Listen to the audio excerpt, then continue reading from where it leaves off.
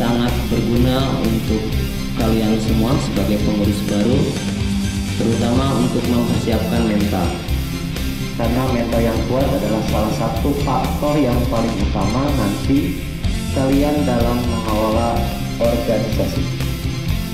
Yang terpenting dalam kegiatan ini bagaimana kita akan menimbulkan memunculkan karakter-karakter yang kuat yang ada di dalam diri kalian di mana karakter itu adalah yang unggul kemudian tidak mudah menyerah struggle kemudian komunikatif terutama nanti kalian bagaimana memberikan contoh yang baik kepada siswa-siswi yang lain.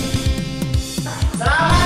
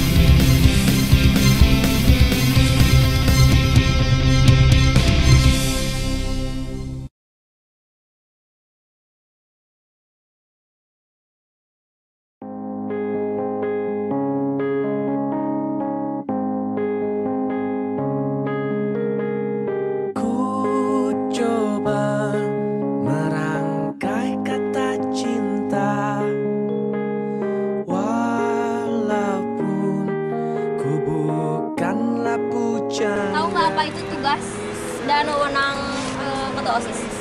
Tugas adalah sesuatu yang wajib dilakukan dan wewenang adalah hak yang didapatkan sebagai ketua OSIS. Apa aja tugas dan wewenang ketua OSIS? Eh, tugasnya memimpin rapat, lalu mengajak anggota-anggotanya untuk mengerjakan tugasnya masing-masing, memimpin dalam berbagai kegiatan, Udah ada yang tahu belum apa itu motivasi?